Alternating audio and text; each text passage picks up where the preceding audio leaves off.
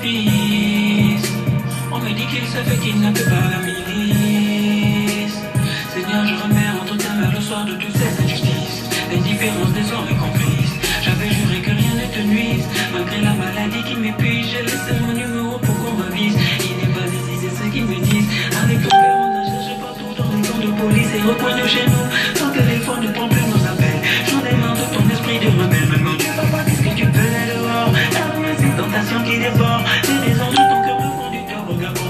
cœurs font place aux morts. J'ai relié l'immonde fatalité. Épargnez-moi pour taux de mortalité. C'est mon gauche qui t'a le plus allaité. Fallait qu'il me tue au lieu de t'arrêter. Prenez le pouvoir, gardez le bon. Pourquoi voter si c'est pour tuer l'espoir? Rendez-moi mon enfant avant ce soir. Vous ne savez pas de quoi est capable une mère dans le noir. Vous ne savez pas de quoi est capable une mère dans le noir.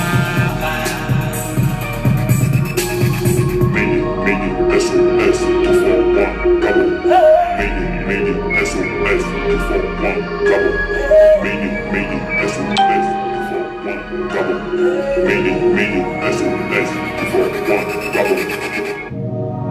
Nana, je suis tout près de toi, sois tranquille. Mon corps est perdu, mais l'amour que je te porte est intact, donc il away. Avec la justice divine, j'aurais des démêlés. Mais j'ai le dossier du karma de ces drames et je dois le révéler.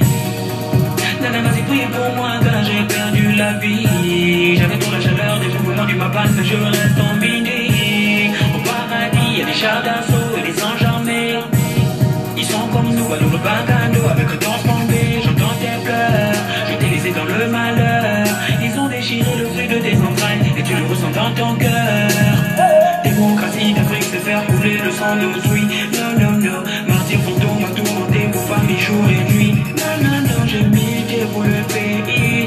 désobéi, coincé au monde des esprits. J'ai l'âme en peine, mais d'envie. C'est dans les étoiles que je vais porter plainte à ce climat de terreur.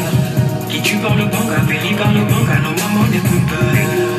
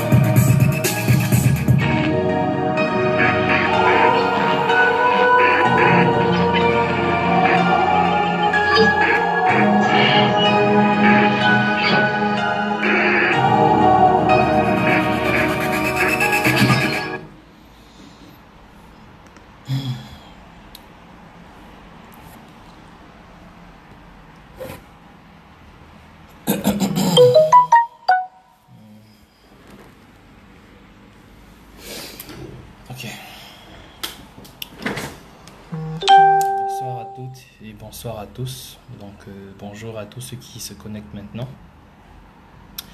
Merci pour ceux qui peuvent bien partager cette vidéo. Ce n'est pas seulement une vidéo, mais c'était un cri d'alerte. C'était un, cri d'alarme. Et aujourd'hui, je vais en parler pour la première fois. Ce n'est pas qu'il n'y en a pas d'autres, il y a eu des cas, des cas et des cas pour des raisons euh, professionnelles, euh, des raisons d'éthique et des raisons euh, administratives. Je n'ai jamais parlé de ça, mais surtout je n'ai pas mis sur la place publique les preuves concernant ce le sujet dont je vais aborder aujourd'hui. En fait, il s'agit euh, de la mafia et euh, du négligement, je vais dire de- du mépris euh, de l'ambassade du Gabon en Turquie Surtout, je vais parler des agents de l'ambassade du Gabon en Turquie vis-à-vis des compatriotes gabonais, vis-à-vis des étudiants gabonais, vis-à-vis des résidents gabonais en Turquie. Il y a eu tellement d'altercations entre l'ambassade et moi personnellement, et aussi avec des autres compatriotes. Pour ce qui me concerne, moi, j'ai euh, gardé tous les enregistrements de l'ambassadeur au premier conseiller à son, son nombre de mains. J'ai des enregistrements des appels. J'ai tout avec moi. J'ai lancé une procédure au Gabon qui est en cours, qui vise justement à destituer le premier conseiller et toute l'administration de l'ambassade. pour des raisons, justement, comme je l'ai dit, d'éthique, je ne peux pas encore mettre sur la place publique ces enregistrements. Mais, pour euh, la nouvelle histoire d'aujourd'hui, pour ce qui se passe aujourd'hui, je ne vais pas attendre l'administration qu'elle termine sa procédure. Alors je vais tirer une sonnette d'alarme et surtout mettre en garde l'ambassade, je veux, dire le premier conseiller à l'ambassade du Gabon en Turquie. Avant de lancer euh, ce que j'ai à dire, je vais d'abord vous faire écouter un enregistrement, euh, un message que j'ai reçu d'une compatriote. Et ensuite, je vais vous parler de la compatriote, mais surtout vous parler du comportement que a le premier conseiller et son homme de main qui est soi-disant chargé des relations externes. Jusque-là, j'avais pitié de toi, monsieur Thibault euh, et monsieur Massavala, parce que je me suis dit, c'est votre bout de pain et euh, vous devez nous aider des familles à nourrir, donc il faudrait éviter. Mais je vous informe que votre dossier bien gros comme ça, là, se trouve déjà au Gabon. Et il y a des gens qui traitent ça. Ils m'ont juste demandé de ne pas rendre public les enregistrements que j'ai de votre part. Votre insolence au téléphone, votre manque de respect vis-à-vis des gens. Un dossier comme ça vous attend au Gabon. Donc, prenez votre mal en patience. Mais pour la, le cas de Déborah, on n'aura pas le temps de rentrer au Gabon. Vous n'aurez pas le temps de prendre Turkish Airlines pour rentrer au Gabon. Pour le cas de Déborah, vous n'aurez pas le temps de prendre Turkish Airlines pour rentrer au Gabon. Ça, je préfère vous mettre en garde. Et je ne suis pas le seul, il y a des Gabonais qui sont déjà prêts, qui vous attendent là-dessus. Qui, s'il arrive un problème, un cheveu qui tombe, la, la tête de l'enfant, d'un enfant de Déborah, ou s'il arrive un malheur à Déborah, vous n'aurez même pas le temps de quitter Ankara. Ça, je préfère. Je vous le dis, c'est une menace et je le fais à visage découvert. Vous savez où je vis et je vous le dis. Vous savez où j'apprends, dans quelle université je suis. Vous connaissez mon nom. Faites ce que vous avez à faire. Mais je vous dis ceci. Si jamais il tombe de la tête de Déborah ou de son enfant ou de ses enfants un cheveu par votre négligence, vous n'aurez pas le temps de quitter Ankara. Je vous le dis déjà, je vous le rassure, vous n'aurez pas le temps de quitter Ankara. Vous n'aurez pas le temps de sortir de la Turquie pour la question de Déborah. D'abord, je vous faire écouter l'enregistrement que Déborah m'a envoyé et après, on va poursuivre sur la suite. C'est Déborah. Vraiment, bonsoir, parfait. C'est Déborah. Vraiment, mon frère, excuse-moi du dérangement. Je viens pour t'expliquer un peu le coup de fil que. Je... Sinon, je suis vraiment déçu. Je suis vraiment déçu du comportement de notre ambassade du Gabon ici, de notre ambassade Ankara. Je suis tellement déçu.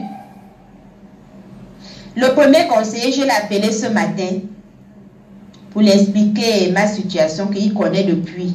Puisque moi, je m'étais même déplacée pour aller à Ankara avec le père de mes enfants pour le même problème de mes papiers. Et c'est comme ça que le premier conseiller m'avait donné son numéro à l'ambassade. Depuis là, j'ai son numéro ici. Je l'appelé souvent. J'ai son numéro dans mon calepin. J'ai la carte, de, la carte qu'il m'avait donné, sa carte de visite qu'il m'avait donné. Je l'appelle ce matin. Ce qu'il trouve à me dire, c'est que qui t'a donné mon numéro et qui t'a donné le numéro de l'ambassadeur? Il me dit, si tu ne me dis pas la personne qui t'a donné mon numéro et le numéro de l'ambassadeur, je ne réponds pas à, je ne réponds pas à toutes les questions que tu vas me poser et je ne pourrai pas résoudre ton problème. Parfait. Nous sommes les, compatriotes gabonaises. Nous avons des problèmes ici en Turquie. Est-ce que c'est normal que le, premier conseiller me répond comme ça au téléphone? Que si je ne lui dis pas, la personne qui a donné son numéro de téléphone, il ne résout pas mon problème. C'est quand je vais mourir qu'ils vont, ils vont venir chercher mon corps ici. Moi, j'ai encore la force de parler encore avec mon ambassade du Gabon. Aidez-moi. Aidez-moi.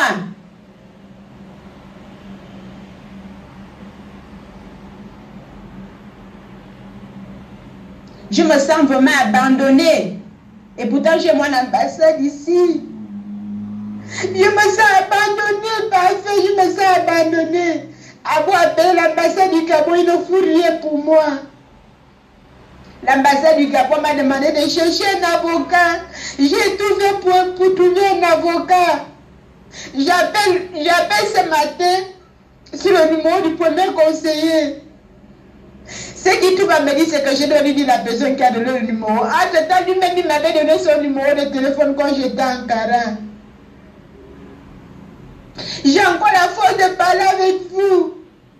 J'ai encore la force de parler avec vous au téléphone. Si je meurs ici, parce que je pleure mes enfants aujourd'hui, je suis déçu du comportement de notre ambassade. Je suis vraiment déçu de notre, du comportement de notre ambassade. Je me sens abandonnée. Ici, je n'ai pas de famille, je n'ai personne.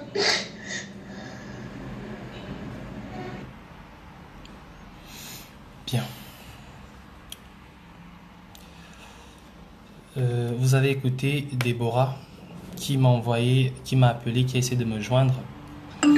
Donc depuis un certain nombre de jours, je n'avais pas de téléphone parce que mon téléphone, j'ai dû le, je l'ai envoyé sur le service. Donc quand j'ai vu mon téléphone aujourd'hui, j'ai reçu tous ces messages-là. Ce n'est pas la première fois. Ce n'est pas la première fois que l'ambassade se comporte comme ça avec des compatriotes gabonais en Turquie. Nous avons eu des problèmes ici en Turquie, des problèmes si graves que ça pourrait entraîner ce qu'on appelle des... Vous avez appelé ça comment?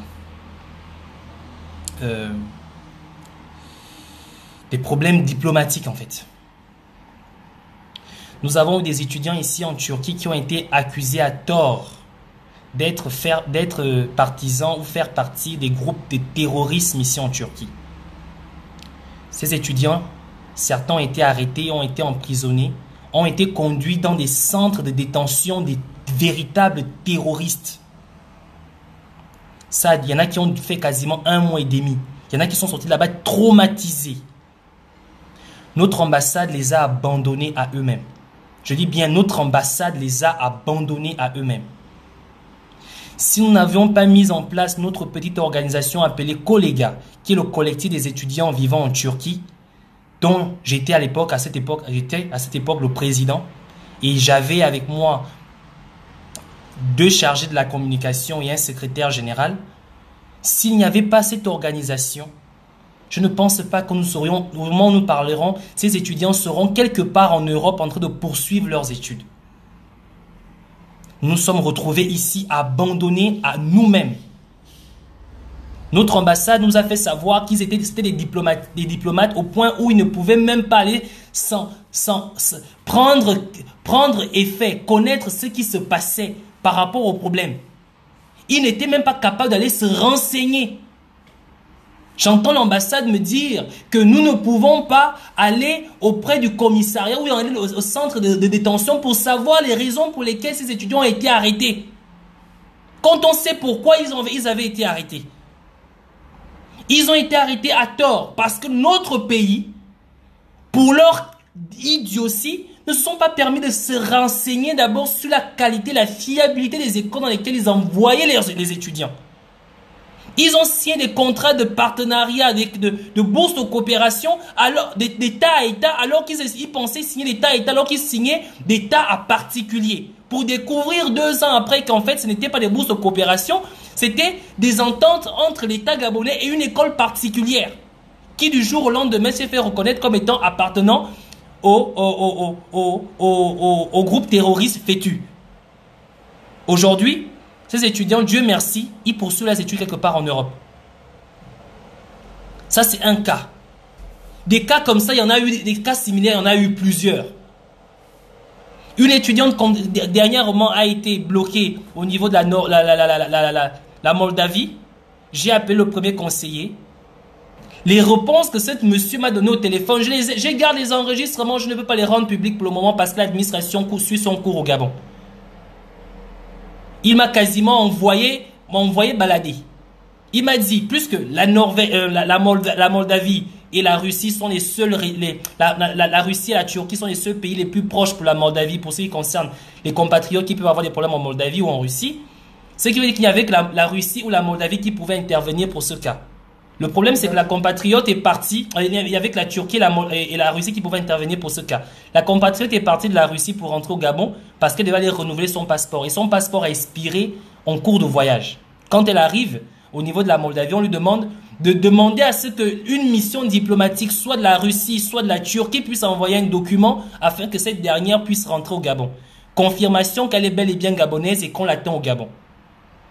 Alors, j'appelle la Russie, l'ambassadeur de Russie, du Gabon en Russie, n'étant pas sur place, on m'a demandé de rappeler donc la Turquie. Évidemment, j'appelle la Turquie, puisque je, suis, je vis en Turquie. Monsieur le premier conseiller me dit qu'il n'a pas le temps de pouvoir signer un document pour cette compatriote. Que j'appelle la Russie, que j'appelle la France, ou j'appelle le Gabon pour, fournir un document qui atteste que le compatriote au nom de tel numéro de passeport, tant, tant, tant, est bel et bien gabonaise et elle peut rentrer. Une forme de laisser passer, juste une lettre et une signature. Il m'a envoyé demander ça au Gabon. Il a fallu que j'appelle au Gabon pour que le Gabon, au niveau de l'immigration, puisse envoyer un document alors que je, pouvais appeler facilement Ankara pour m'envoyer un document, même juste un document scanné. Ils avaient juste besoin de ça. La jeune compatriote a dormi pendant 4 jours dans un aéroport. 4 jours. Il fallait retrouver, il fallait payer un nouveau billet d'avion. Il fallait trouver ce document.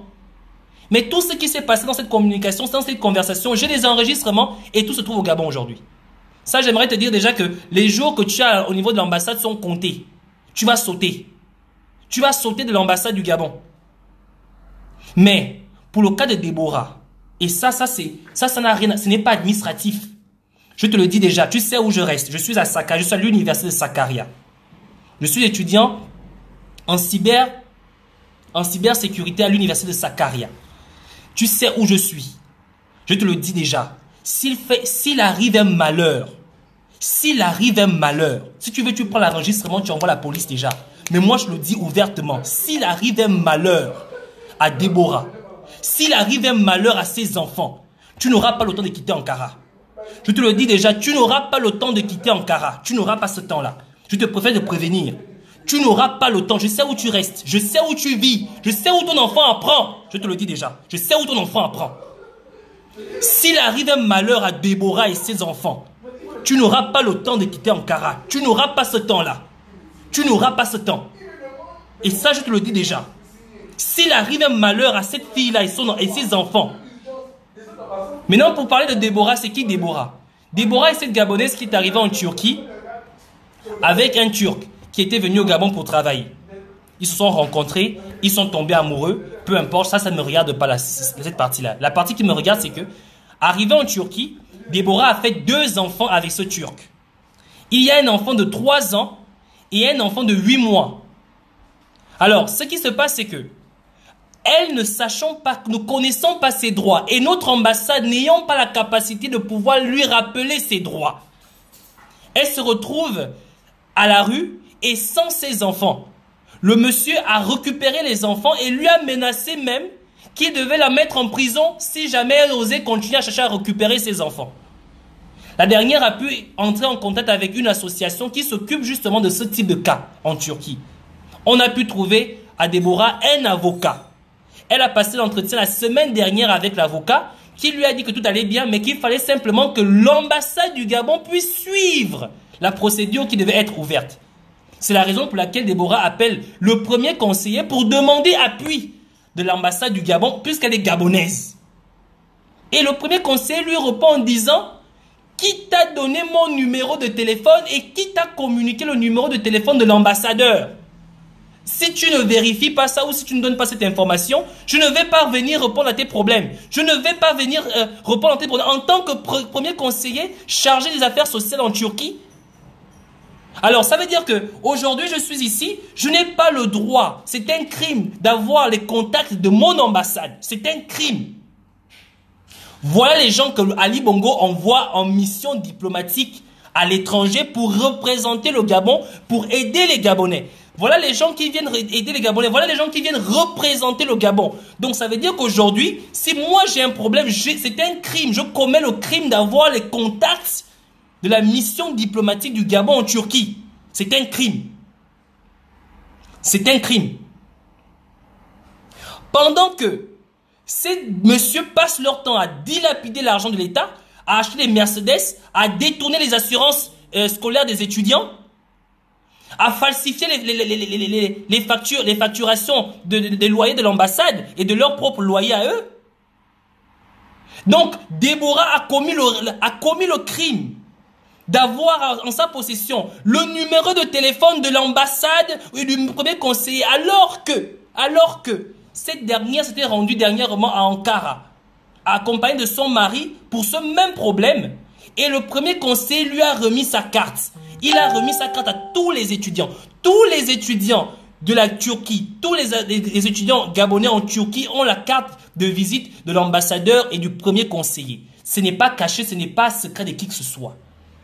Mais comme cet homme est bête et con et idiot, imbu de sa personnalité, le con de ta mère, je te dis, s'il arrive, s'il arrive un malheur, que ce soit de l'enfant de Déborah, que ce soit Déborah personnellement, je te jure sur la vie de ma maman, je te jure que tu n'auras pas le temps de quitter Ankara. Je te le dis déjà, tu n'auras pas le temps. Je suis Eyi parfait, je vis à Sakaria. Tu sais où me trouver, envoie la police. Je dis envoie la police. Je te jure que s'il arrive un malheur à Déborah, s'il arrive un malheur à Déborah, s'il arrive un malheur à son enfant ou à ses enfants, tu n'auras pas le temps de quitter Ankara. Ça, je peux te rassurer ça. Tu n'auras pas le temps. Je sais où tu vis. Je connais ta maison, j'ai ton adresse. Je sais où ton enfant apprend. Et ça, je te le dis déjà. Ce n'est pas des menaces à terre. Je te le dis clairement. S'il arrive un malheur à Déborah, tu n'auras pas le temps de partir. Comme on vous le fait, comme c'est parce que on vous permet, on vous donne cette force-là, je ne sais pas où vous mangez, où là vous gagnez cette, cette façon de voir les gens parce que vous pensez que vous êtes arrivé. Mais il n'y a pas de souci. Il n'y a pas de souci. Il n'y a vraiment pas de souci. Mais je te dis, l'administration suit son cours au Gabon pour ton cas. Mais pour l'affaire de Déborah, tu entends? Il n'y a pas de souci, on va régler le de Déborah. Elle a un procès dans les jours à venir, je vais m'y rendre. Je vais m'y rendre, il n'y a pas de souci. Elle va récupérer ses enfants. Mais seulement, ça je te dis ceci, pour ta négligence, si entre-temps, pour ta négligence, si entre-temps, il venait avoir un malheur, pour ça soit Déborah, pour ça soit de ses enfants, ok, sache qu'on va se voir, toi et moi. Ce sera entre toi et moi. Est-ce que tu as compris? Je te dis déjà, je suis à Sakaria, l'université Sakaria, étudiant en doctorat en, cyber, en, sécurité cybernétique. Sakaria, je viens. Tu sais où me trouver. Tu envoies la police. Il n'y a pas de souci, moi, j'ai pas peur de la police turque. Tu envoies la police. Même si tu envoies la police, même si je suis en prison, mais je te dis ceci. Si jamais il arrive malheur à Déborah, si jamais il arrive malheur à ses enfants, ce sera œil pour œil, dent pour dent. Tu n'auras pas le temps de rentrer au Gabon. Et ça, je te le rassure. Monsieur, Monsieur Massala Clément, tu n'auras pas le temps de rentrer au Gabon. Quant à ton idiot de Thibaut, quant à ton idiot de Thibaut Ifunda, toi, je te donne le conseil de ne même pas oser t'interférer. Est-ce que tu comprends, Thibaut ne même pas oser t'interférer. Parce que pour ton cas là, c'est encore plus grave. Ton cas, Thibaut, c'est encore plus grave. Je n'ai pas envie de te faire du mal. Je n'ai pas envie de t'humilier. Je n'ai pas envie de te foutre en tôle. Ton cas est encore plus grave. Mais je te dis déjà ça. N'essaye même pas de t'interférer. N'essaye même pas de venir te mettre au milieu. Ça, n'essaie pas. Ça, je te le dis déjà. N'essaie même pas. Maintenant, quant à toi, Massavala, Monsieur Massala, euh, Jean, Monsieur Massala Clément, tu as négligé l'affaire de Déborah, il n'y a pas de souci. Je ne t'en veux même pas. Mais prie qu'il n'arrive pas malheur à cette femme ici en Turquie. Prie qu'il n'arrive pas malheur à ses enfants. Ça, je le dis déjà. Prie pour ça. Maintenant, reste dans ton bunker continuer à détourner, déjà même vous ne pouvez plus détourner l'argent des assurances des étudiants, parce que c'est fini ça. Le dossier, il est clos. Il est clos. Tout le, toute la, toute la procédure des, détournements des assurances des étudiants euh, gabonais en Turquie. Tout est su au Gabon, c'est fini. Voilà pourquoi on ne paye plus l'assurance des étudiants en Turquie, de Gabon en Turquie. C'est fini ça. Donc l'argent que vous avez détourné, toi et Thibault, Thibault là, c'est fini avec ça. Mais moi je te dis ceci. Tu me connais, et moi on se connaît. Tu m'avais osé dire que tu peux être mon père. Tu ne peux pas être mon père. Ça, je le dis, tu ne peux pas être mon père. Tu ne peux pas être mon père. Mon père est un homme digne, intègre. Il ne verra jamais un Gabonais saigner. Ça, je te le dis déjà. Mais je te dis ceci. Tu ne me connais pas. Tu ne me connais pas. Mais tu vas me connaître maintenant. Tu vas me connaître. Le jour, la Goula va m'appeler pour me dire que mon enfant a eu un problème. J'espère que tu seras au courant avant moi. Parce que tu auras peut-être le temps de s'en sortir. Parce que si j'apprends ça avant toi, tu es à 4 heures de chez moi. Tu es à 4 heures de chez moi. On est en Turquie. On n'est pas au Gabon ici, on est en Turquie. Et toi et moi, on va régler ça comme des hommes. Est-ce que tu as compris? Moi, je voulais savoir. Je ne vais même pas beaucoup discuter avec toi. Toi et moi, on va régler ça entre les hommes. L'ambassade de, D'accord. de Turquie nous sert à quoi ici? Pour ceux qui n'ont pas suivi l'enregistrement des Déborah, je vous fais écouter encore une dernière fois et puis je vous dirai ciao. Ah, c'est. Ton instant, s'il te plaît. Ça, c'est des conneries. Moi, je viens là-bas, je me tape, j'ai un problème, vous ne réglez pas mon problème, je casse tout, et puis c'est fini. Pour l'année, ça, c'est quoi, c'est ça? Ah, des trucs chiants comme ça, là. Moi, j'ai mon problème, vous ne réglez pas. Attendez-moi. Vraiment, mon frère, excuse-moi. Bonsoir, parfait. C'est Déborah. Vraiment, mon frère, excuse-moi du dérangement. Je viens pour t'expliquer un peu le coup de fil que. Sinon, je suis vraiment déçu. Je suis vraiment déçu du comportement de notre ambassade du Gabon ici, en- de notre ambassade Ankara. Je suis tellement déçu. Le premier conseiller, je l'ai appelé ce matin pour lui expliquer ma situation qu'il connaît depuis. Puisque moi, je m'étais même déplacée pour aller à Ankara avec le père de mes enfants pour le même problème de mes papiers. Et c'est comme ça que le premier conseiller m'avait donné son numéro à l'ambassade. Depuis là, j'ai son numéro ici. Je l'appelais souvent. J'ai son numéro dans mon calepin. J'ai la, carte de, la carte qu'il m'avait il m'avait donnée, sa carte de visite qu'il m'avait donnée. Je l'appelle ce matin. Ce qu'il trouve à me dire, c'est que qui t'a donné mon numéro et qui t'a donné le numéro de l'ambassadeur? Il me dit, si tu ne me dis pas la personne qui t'a donné mon numéro et le numéro de l'ambassadeur, je ne réponds pas à, je ne réponds pas à toutes les questions que tu vas me poser et je ne pourrai pas résoudre ton problème. Parfait. Nous sommes les, les compatriotes gabonaises. Nous avons des problèmes ici en Turquie. Est-ce que c'est normal que le, premier conseiller me réponde comme ça au téléphone? Que si je ne lui dis pas, la personne qui a donné son numéro de téléphone, il ne résout pas mon problème.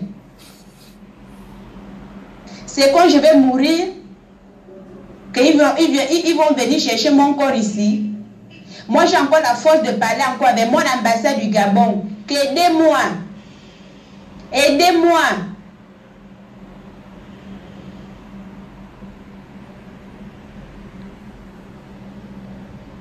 Je me sens vraiment abandonnée. Et pourtant, j'ai mon ambassade ici. Je me sens abandonnée, parfait, je me sens abandonnée. Avoir appelé l'ambassade du Gabon, il ne fout rien pour moi. L'ambassade du Gabon m'a demandé de chercher un avocat. J'ai tout fait pour, pour trouver un avocat. J'appelle ce matin sur le numéro du premier conseiller. Ce qui tout va me dire, c'est que je dois lui dire la personne qui a donné le numéro. Ah, temps, lui-même, il m'avait donné son numéro de téléphone quand j'étais en Ankara. J'ai encore la force de parler avec vous. J'ai encore la force de parler avec vous au téléphone. Si je meurs ici, parce que je pleure mes enfants aujourd'hui, je suis déçu du comportement de notre ambassade. Je suis vraiment déçu de notre, du comportement de notre ambassade. Je me sens abandonnée. Ici, je n'ai pas de famille, je n'ai personne.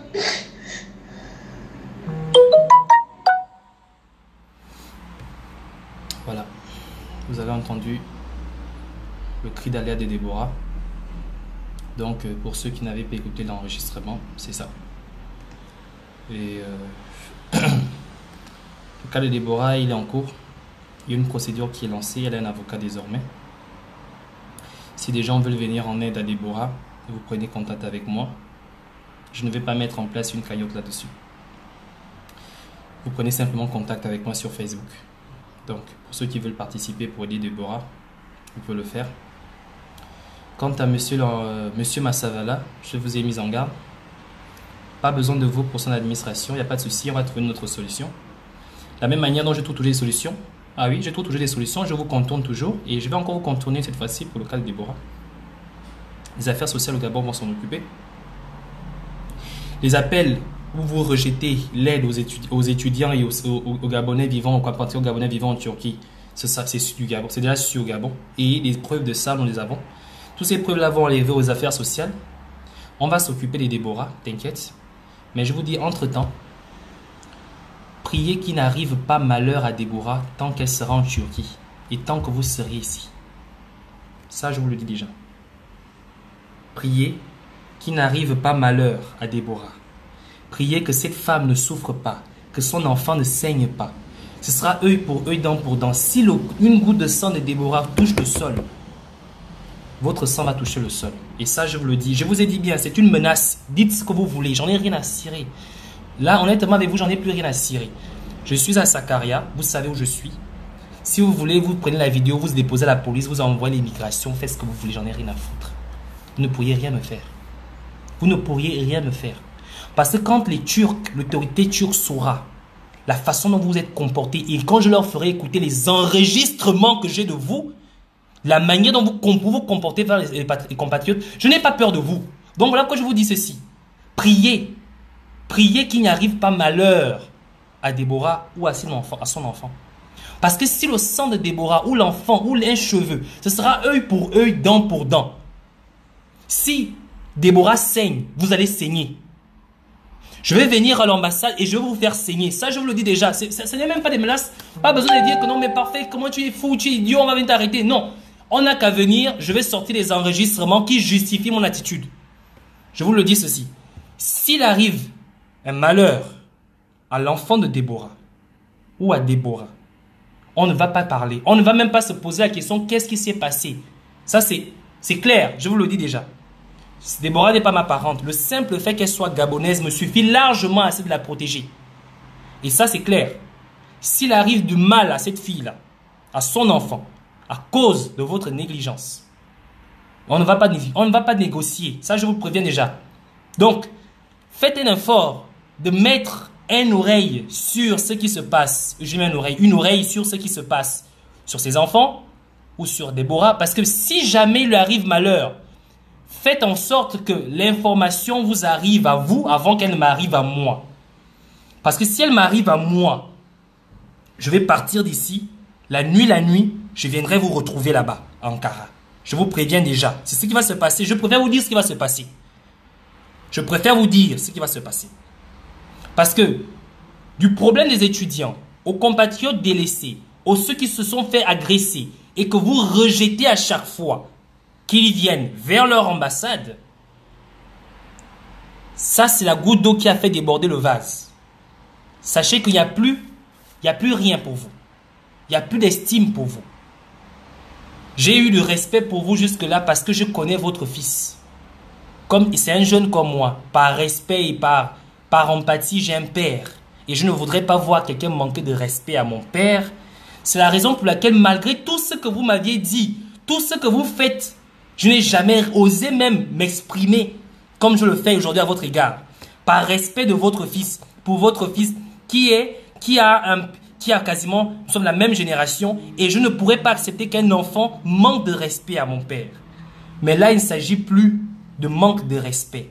Il s'agit de personnes en danger et non assistées par son ambassade. Et c'est fait exprès. Et comme c'est fait exprès, moi, je vais te montrer que je suis plus con que toi. Donc, je te préviens. Elle va ouvrir sa procédure. Je connais comment les Turcs sont. Ils vont se battre pour les enfants, ils vont vouloir les garder, ils vont vouloir. Ils peuvent même aller jusqu'à menacer la fille. Mais si jamais, parce que l'ambassade ne l'a pas assisté, il lui arrivait malheur, je ne vais pas aller chercher au Gabon. Je ne viendrai pas crier qu'Ali Bongocha a fait ceci ou Ali Bongocha. Non, je connais qui est le responsable direct. Ce n'est pas Ali Bongo qui a rejeté Deborah au téléphone. Ce n'est pas Ali Bongo qui rejette Deborah à chaque fois au téléphone. Même si sa stupidité, sa médiocrité fait partie, et, et, partie prenante du fait que tu sois aujourd'hui euh, chargé de euh, premier conseiller au niveau de l'ambassade du Gabon en Turquie. Le premier responsable, tu seras responsable de tes actes. Et je te le dis déjà, s'il arrive malheur, à Déborah ou à l'un de ses enfants, un cheveu tombe, je te jure sur la vie de ma maman, je te promets, ce sera œil pour œil, dent pour dent, avant que tu ne quittes la Turquie. C'est ce que j'avais à te dire ce soir-là. Passe une excellente soirée.